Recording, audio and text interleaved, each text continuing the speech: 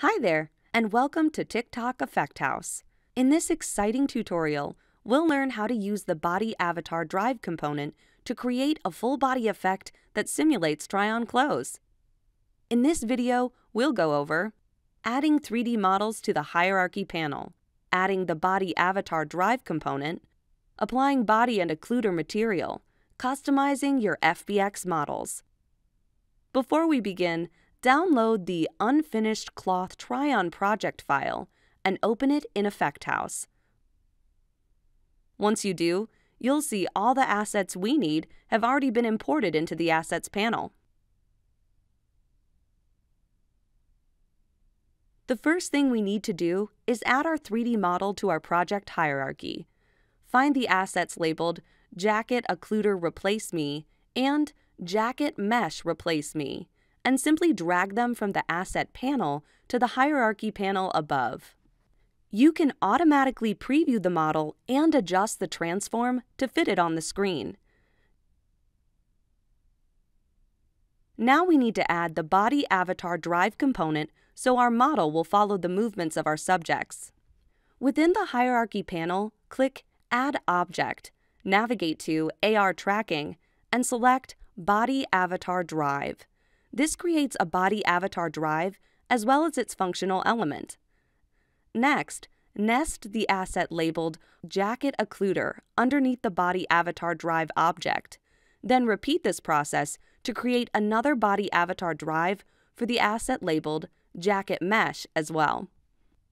In the hierarchy, right-click on Body Avatar Drive and Body Avatar Drive 1 and rename them to Cloth and Occluder according to which asset is nested underneath. In the Inspector panel, make sure the property Follow Body Position is checked. This directs the Body Avatar Drive and our 3D models to follow the movement of our subject. If you don't want the entity to match body movements, you can uncheck this property and customize the entity's transform manually. Now we can apply body and occluder material to give our 3D modeled clothing texture and detail. First, let's set up cloth material for the meshes underneath Cloth. Select Pockets, go to the Inspector panel on the right, click on Material, and choose the corresponding material. Since we have many different materials, we also have many different meshes, such as button, logo, or body.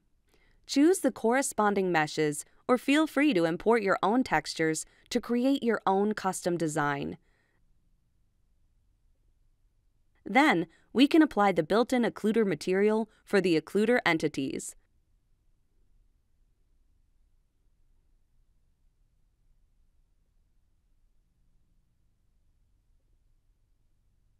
To learn more about customizing FBX models for your 3D characters, check out the Body Avatar Drive Guide, where you can download the Body Rig Template FBX file to use as a reference for body positions and key points, and learn about best practices for naming conventions. Congrats! You've just learned how to create full body effects with the Body Avatar Drive.